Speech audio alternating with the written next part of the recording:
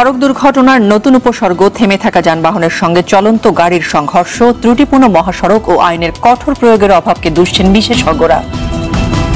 ইন্টারনেটের অপব্যবহার বিশ্ব শান্তি ও নিরাপত্তার জন্য হুমকি, তার সমাধানে জাতিসংঘকে এগিয়ে আসার আহ্বান প্রধানমন্ত্রী শেখ হাসিনার। স্বাধীনতা বিরোধী দলের সঙ্গে সম্পর্ক চিহ্নে ঘোষণা না দিলে বিএনপির সঙ্গে ঐক্য প্রক্রিয়া হবে না, বলছে যুক্তফ্রন্ট। এবং এশিয়া কাপের অঘোষিত সেমিফাইনালে বিকেলে মুখোমুখি বাংলাদেশ পাকিস্তান নিজেদের সেরাটা দিয়ে ফাইনালে খেলার আশা টাইগারদের।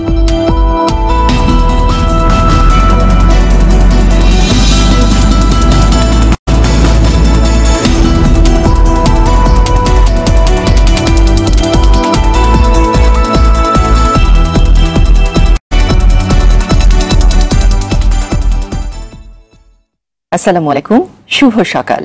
স্বাগত আইটিভির সকালের সংবাদে। শুনছিলেন মার্কেন্টাল ব্যাংক শিরোনাম, আমি সঞ্জিদা হক। পুরোটা সময় জুড়ে থাকব আপনাদের সঙ্গে।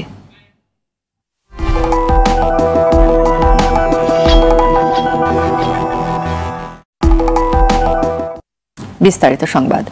সড়ক দুর্ঘটনার নতুন এক উপসর্গ, থেমে থাকা যানবাহনের সঙ্গে চলন্ত গাড়ির সংঘর্ষ। গত পাঁচ দিনে এমন দুর্ঘটনায় সারা দেশে নিহত হয়েছেন আট জন বিশেষজ্ঞরা বলছেন ত্রুটিপূর্ণ মহাসড়ক ও আইনের কঠোর প্রয়োগ না থাকায় এই ধরনের দুর্ঘটনা ঘটছে। এগুলো কমাতে মহাসড়কগুলোকে আধুনিক করা এবং চালকদের আইন মানতে বাধ্য করার পরামর্শ দিলেন তারা। নাজমুল হোসেন সাইমনের ক্যামেরায় জুবাইর সানির রিপোর্ট। মঙ্গলবার মিরসরাইয়ে দাঁড়িয়ে থাকা দুটি সিএনজি অটোরিকশাকে ট্রাক ধাক্কা দিলে ঘটনাস্থলে অটোরিকশার পাঁচ যাত্রী মারা যান। গেল শনিবার রাজশাহীর পুঠিয়ায় দাঁড়িয়ে থাকা একটি ট্রাককে পিছন থেকে ধাক্কা দেয় যাত্রীবাহী বাস। এতে ঘটনাস্থলে ট্রাকের চালক, সহকারী ও বাসের সহকারী মারা যান। দেশের কোথাও না কোথাও প্রতিদিনই ঘটছে এমন ঘটনা। বিশেষজ্ঞরা বলছেন মহাসড়কের পাশে সার্ভিস সড়ক না থাকা এবং সচেতনতার অভাবে এমন দুর্ঘটনা ঘটছে। যেখানে ইন্টারসেকশন রয়েছে সেখানে বা কিন্তু আমার পার্কিং করার কোনো সুযোগ নেই। দেখা যাচ্ছে যে যদি আমার পার্কিং করতে হয় সেটার জন্য অথরিটির দায়িত্ব হবে একটা আলাদা পার্কিং স্পেস তৈরি করা এবং সেখানে গাড়িগুলোকে আপনার দাঁড়াবে বা যাত্রী ওঠানামা করবে সেই বিষয়টা নিশ্চিত করা। তো দুর্ভাগ্য আমাদের সব রাস্তার মধ্যে কিন্তু সড়কের পাশে এই সার্ভিস লেনটা না থাকার ফলেই স্বইচ্ছায় পার্কিং করে অথবা আউট অফ অর্ডার হয়ে গেলে সেখানে কিন্তু সে রেখে দেয়। এটা অত্যন্ত ঝুঁকিপূর্ণ একটা অ্যাক্টিভিটি এগুলো কমাতে মহাসড়কগুলোকে আধুনিক করা এবং আইনের কঠোর প্রয়োগের উপর জোর দিলেন বিশেষজ্ঞরা। প্রথম কথা হচ্ছে আমাদের সবগুলো রাস্তায় ডিভাইডার সহ ফোর লেনে করে ফেলতে হবে সার্ভিস রোড দিতে হবে। ইন্টারসেকশন যাতে আমার না থাকে সেটা নিশ্চিত করতে হবে। এবং মহাসড়কে যাতে আমার কোনো অবৈধ যান বা হচ্ছে যে থ্রি হুইলার স্লো মুভমেন্ট থাকতে পারে না। আদারওয়াইজ আপনার মহাসড়কে যদি পার্কিং করতে হয় যদি স্পেস না থাকে সেক্ষেত্রে আমার যে শোল্ডারটা রয়েছে শোল্ডারটাকে ভালো রেখে শোল্ডারটাকে ব্যবহার করা যেতে পারে। ট্রাফিক পুলিশকে কিন্তু এখানে অত্যন্ত নজরদারিটা নিবিড় করতে হবে। আর না হলে মানুষ সুযোগ সন্ধানী। সে করবে, নিজের জন্য ঝুঁকি, অন্যের জন্য ঝুঁকি হয়ে যাচ্ছে। তো হাইওয়ে পুলিশ যত তাড়াতাড়ি এটা বুঝবে, তাহলেই কিন্তু একটা সস্তায় সমাধান পাওয়া যায়। দেশে বিদ্যমান আইনে সড়কে অবৈধ পার্কিং অপরাধ হলেও জরিমানা কেবল দুশো টাকা। এ কারণে চালকরা আইন মানতে চান না। তবে সদ্য পাশ হওয়া সড়ক পরিবহন আইন দুই আঠারোতে শাস্তির মাত্রা বাড়লে এ ধরনের ঘটনা কমবে বলে মত বিশেষজ্ঞদের। Jubair Sani R TV Dhaka. ইন্টারনেটের অপব্যবহার এখনও বিশ্ব শান্তি ও নিরাপত্তার জন্য হুমকি উল্লেখ করে তার সমাধানে জাতিসংঘকে এগিয়ে আসার আহ্বান জানিয়েছেন প্রধানমন্ত্রী শেখ হাসিনা। স্থানীয় সময় মঙ্গলবার জাতিসংঘ সদর দপ্তরে সাইবার নিরাপত্তা ও আন্তর্জাতিক সহযোগিতা বিষয়ক এক উচ্চ পর্যায়ের সাইডলাইন বৈঠকে এ আহ্বান জানান তিনি। নিউ থেকে আরও জানাচ্ছেন শরীফুদ্দিন লিমন। স্বাগত বক্তব্যে প্রধানমন্ত্রী শেখ হাসিনা বলেন, ডিজিটাল বিশ্বকে অধিকতর নিরাপদ করে তুলতে জাতিসংঘ গুরুত্বপূর্ণ ভূমিকা রাখতে পারে।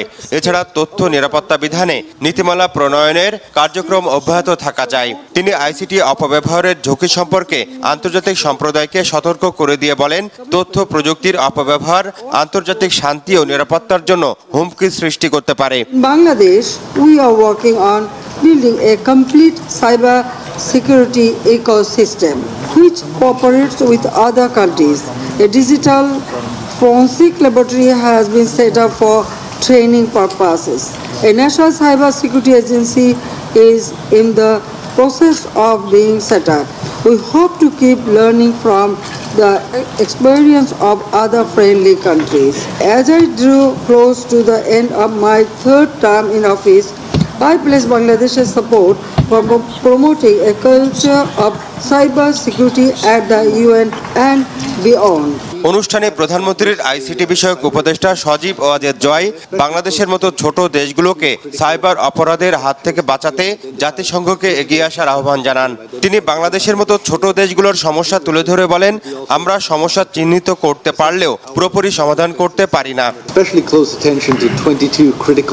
especially close attention to 22 critical infrastructures that we have identified, uh, digital infrastructures that we have identified within Bangladesh. Those are monitored continuously, but we also uh, monitor essentially our cyberspace inside Bangladesh, all internet service providers, um, data centers, what have you. জাতিসংঘের under secretary general Izumi Nakamitsu বলেন দেড়শো দেশের স্বাস্থ্যসেবায় cyber attack হয়েছে কারও একার পক্ষে এর প্রতিরোধ সম্ভব না। প্রধানমন্ত্রী শেখ হাসিনা বলেছেন গোটা বিশ্বের জন্য সাইবার নিরাপত্তা নিশ্চিত করা জরুরি পড়েছে কারণ সবচেয়ে বেশি সাইবার ঝুঁকিতে রয়েছে শিশুরা। এজন্য বাংলাদেশ গোটা বিশ্বের সাথে কাজ করতে প্রস্তুত বলেও জানান তিনি। শরীফ উদ্দিন লিমন আর টিভি জাতিসংঘ সদর দপ্তর, নিউ ইয়র্ক, যুক্তরাষ্ট্র। উনত্রিশ তারিখে বিএনপি জনসভার পরই জাতীয় ঐক্যের লিয়াজো কমিটি গঠন করা হবে বলে জানালেন যুক্তফ্রন্টের chairman A Q M Badruddoza Chowdhury. মঙ্গলবার রাতে জাতীয় ঐক্য প্রক্রিয়ার পরবর্তী কৌশল ঠিক করতে নিজ বাসায় তিন ঘণ্টার বৈঠক শেষে এ কথা জানান তিনি। এ সময় তিরিশ সেপ্টেম্বর ময়মনসিংহে জনসভার পরে নির্বাচনী পদ্ধতি নিয়ে আলোচনা করা হবে বলে জানান বি চৌধুরী। এদিকে স্বাধীনতা বিরোধী দল বা ব্যক্তির সঙ্গে সম্পর্ক ছিন্ন করার ঘোষণা না দেওয়া পর্যন্ত বিএনপি জাতীয় ঐক্য প্রক্রিয়ার মঞ্চে আসতে পারবে না বলে জানান বিকল্প ধারার যুগ্ম মহাসচিব মাহি বি চৌধুরী। বিএনপির প্রতিনিধি জানালেন তারা উনত্রিশ তারিখে তাদের একটা জনসভা আছে। সেই সভার মাধ্যমে তারা আমাদের সঙ্গে ভবিষ্যৎ প্রক্রিয়া কি হবে এবং নীতি সম্পর্কে পূর্ণ একটা বিবৃতি দেবেন। তারপরে আমরা ভবিষ্যতে আমরা আশা করি ভবিষ্যতে আমরা আরও কাছাকাছি কাছাকাছি হওয়ার জন্যে যে প্রক্রিয়া সেটা করতে পারবে। আমাদের এই ঐক্যের বাণী যেটা ইতিমধ্যে খুব ব্যাপক সাড়া জাগিয়েছে বলে আমরা মনে করি। স্বৈর শাসনের বিরুদ্ধে মানুষ একটা পথ দেখতে চাইছে একটা জায়গা খুঁজছে সেই জায়গাটা মানুষকে দেখাবার জন্য সারা দেশে যাওয়া শুরু করব। তারই অংশ হিসেবে আমরা তিরিশ তারিখে ময়মনসিংহে জনসভা করছি। স্বাধীনতা বিরোধী কোনো দলকে বা ব্যক্তিকে শরিক রাখলে বিএনপিকে জাতীয় ঐক্য প্রক্রিয়ায় সম্পৃক্ত করার ব্যাপারে আমাদের আপত্তি রয়েছে। বিএনপি নেতা ডক্টর আব্দুল মঈন খানের গুলশানের বাসায় মার্কিন যুক্তরাষ্ট্র সহ আট দেশের রাষ্ট্রদূতদের বৈঠক হয়েছে। সেখানে বিএনপি মহাসচিব মির্জা ফখরুল, স্থায়ী কমিটির সদস্য মৌদুদ আহমদ, জাতীয় ঐক্য প্রচেষ্টার নেতা সুলতান মনসুর ও মাহমুদুর রহমান মান্না সহ অনেকেই উপস্থিত ছিলেন। বৈঠক শেষে মাহমুদুর রহমান মান্না জানান, মূলত বার্নিকাটকে বিদায় দেওয়ার উদ্দেশ্যেই এই নৈশভোজের আয়োজন।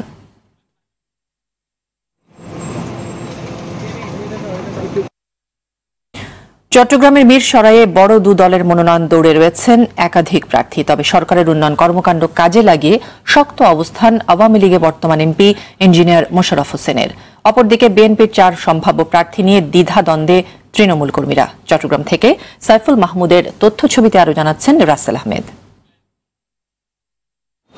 মিরসরাই উপজেলা ও দুটি পৌরসভা নিয়ে গঠিত চট্টগ্রাম এক আসন। বেশ কয়েকটি শিল্প কারখানা, অর্থনৈতিক অঞ্চল ও পর্যটন স্পট রয়েছে মিরসরায়ে গুরুত্বপূর্ণ আসনটির বর্তমান এমপি, গণপূর্ত মন্ত্রী, ইঞ্জিনিয়ার মোশাররফ হোসেন। স্বাধীনতার পর পাঁচবার এই আসন থেকে সংসদ সদস্য নির্বাচিত হন তিনি। এবারও পেতে চান আওয়ামী লীগের মনোনয়ন। নৌকার টিকিট পেতে জোর তদবির চালাচ্ছেন আওয়ামী লীগ নেতা গিয়াসুদ্দিন ও ব্যবসায়ী নিয়াজ মোর্শেদ। সরকারের উন্নয়ন কর্মকাণ্ড জনগণের সামনে তুলে ধরছেন তারা। নৌকাকে ভোট দিবে জন্য। মানুষ না খেয়ে মরতেছে না। এই জন্য খাদ্যের সংসম্মতা অর্জন করছি। আমরা আমরা কৃষিতে, মৎস্যে সব কিছুতে আমরা সক্ষম, সক্ষমতা অর্জন করছি। সেই জন্য নৌকাকে ভোট দেবে। মাননীয় প্রধানমন্ত্রী মনোনয়ন দেন এবং আমি বিশ্বাস করি মিরেশ্বরাইবাসী আমার সেবা পাওয়ার জন্য তারা অধীর আগ্রহে অপেক্ষা করছে। এই আসনটিতে শোনা যাচ্ছে বিএনপির একাধিক সম্ভাব্য প্রার্থীর নাম। এ নিয়ে দ্বিধা বিভক্ত মাঠ পর্যায়ের কর্মীরা আওয়ামী লীগ ও বিএনপির শরিক দলের নেতারাও রয়েছেন মনোনয়ন প্রতিযোগিতায়। অংশগ্রহণমূলক নির্বাচনে আমরা বা আমি বাংলাদেশ জাতীয়তাবাদী দলের পক্ষ থেকে যদি আমাকে নমিনেশন দেওয়া হয় আমি ইনশাল্লাহ শতভাগ নিশ্চিত আমি বিজয়ী হতে পারব।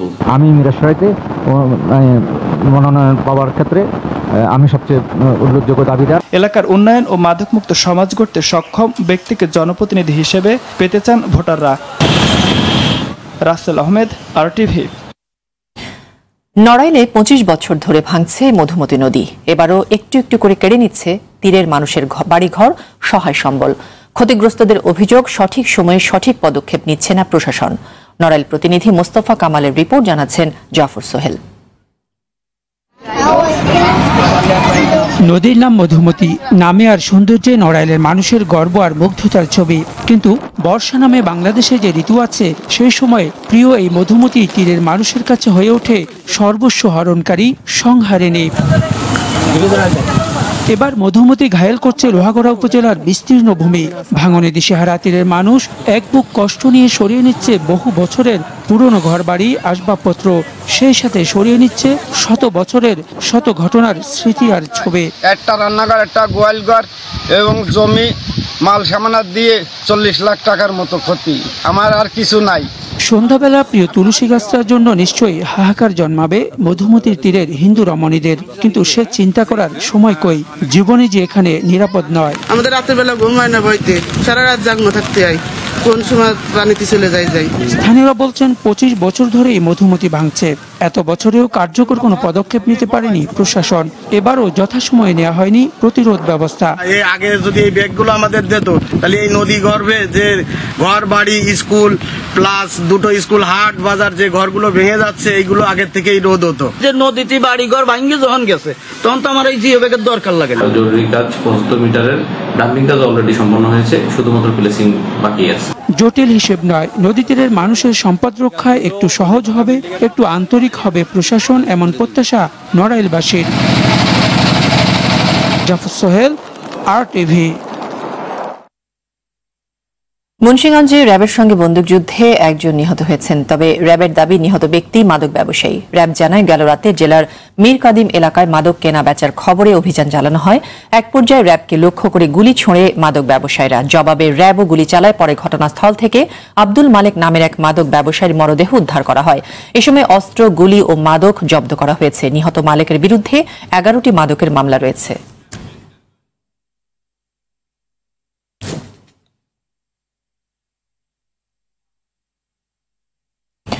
এবারে প্রবাসের সংবাদ। দর্শক, সৌদি আরবের জেদ্দা প্রতিনিধি হানিস সরকার উজ্জ্বলের পাঠানো তথ্য ছবিতে প্রবাসের সংবাদ জানাচ্ছেন ইমরুল হাসান। বৃহত্তর কুমিল্লা সমিতি জেদ্দার আয়োজনে আজীবন সদস্য সম্মাননা ও বিদায় সংবর্ধনা হয়েছে। সমিতির সভাপতি কাজী নিয়ামুল বশিরের সভাপতিত্বে প্রধান অতিথি ছিলেন সমিতির প্রধান পৃষ্ঠপোষক ইনভেস্টর ইঞ্জিনিয়ার মোহাম্মদ আশরাফুদ্দিন। সংবর্ধনীয় ও বিদায়ী অতিথি ছিলেন সমিতির উপদেষ্টা মোহাম্মদ মমতাজুল হক এবং সহসভাপতি শাহজালাল মোল্লা। বিশেষ অতিথি ছিলেন প্রধান উপদেষ্টা সাদেক আহমেদ, উপদেষ্টা নাসির উদ্দিন সরকার, জাফর পারভেজ, খন্দকার আবুল কালাম আজাদ, সমিতির সাধারণ সম্পাদক মোহাম্মদ নুরুল ইসলামের সঞ্চালনায় এ সময় স্বাগত বক্তব্য রাখেন মোহাম্মদ হুমায়ুন কবির। আজীবন সম্মাননা স্মারক তুলে দেন সৈয়দ আব্দুল জাহের জালাল এবং কাজী সাফায়েত হোসেন। রেলপথ মন্ত্রী ও কুমিল্লা দক্ষিণ জেলা আওয়ামী লীগের সাধারণ সম্পাদক মুজিবুল হক মুজিব এমপি সৌদি জেদ্দায় পৌঁছলে স্বাগত জানিয়েছেন চৌদ্দগ্রাম প্রবাসী আওয়ামী নেতৃবৃন্দ ও জেদ্দায় আওয়ামী পরিবারের বিভিন্ন সংগঠনের নেতৃবৃন্দ। এ সময় বিমানবন্দরে উপস্থিত ছিলেন জেদ্দায় Bangladesh কনসুলেটের consul general F M Borhanuddin, councillor Mujibur Rahman. এ সময় আরও উপস্থিত ছিলেন মীর কাশেম মজুমদার, ভিপি ফারুক মিয়াজি, হাজি মুজিবুল হক, ফরিদ মজুমদার মীর হোসেন মিরু, মোহাম্মদ মনির হোসেন, শামসুল আলম খোকন সহ অনেকে। সৌদি আরবের জেদ্দায় উদ্বোধন হলো প্রিমিয়ার লিগ দু হাজার আঠারো ক্রিকেট টুর্নামেন্ট। এতে সভাপতিত্ব করেন শাখাওয়াত হোসেন। সাদ্দাম হোসেনের সঞ্চালনায় আরও উপস্থিত ছিলেন উপদেষ্টা শেখ মুস্তাক আহমেদ, মোহাম্মদ আমিনুল, মোহাম্মদ কামরুল, মোহাম্মদ সাইফুল মোহাম্মদ টিপু মোহাম্মদ শামীম সহ দশটি দলের অধিনায়ক ও টিম ম্যানেজার। টুর্নামেন্টটি শুরু হবে আগামী সাতাশ সেপ্টেম্বর রাত এগারোটায় সৌদি আরবের জেদ্দায়। টুর্নামেন্টের উদ্বোধন করবেন বিশিষ্ট ব্যবসায়ী ও রাজনীতিবিদ মকিব আহমেদ আব্দুর রহমান তপন আহমেদ সহ অনেকেই। ইমরুল হাসান আর টিভি শেষ করব সকালের সংবাদ তবে শেষ করার আগে মার্কেন্টাল ব্যাংক শিরোনামগুলো জানিয়ে যাব আরও একবার।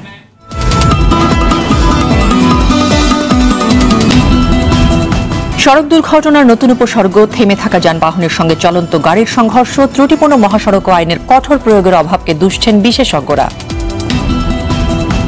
ইন্টারনেটের অপব্যবহার বিশ্ব শান্তি ও নিরাপত্তার জন্য হুমকি, তার সমাধানে জাতিসংঘকে এগিয়ে আসার আহ্বান প্রধানমন্ত্রী শেখ হাসিনার।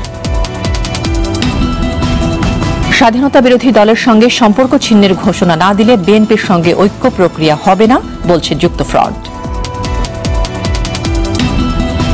এবং এশিয়া কাপের অঘোষিত সেমিফাইনালে বিকেলে মুখোমুখি বাংলাদেশ পাকিস্তান নিজেদের সেরাটা দিয়ে ফাইনালে খেলার আশা টাইগারদের।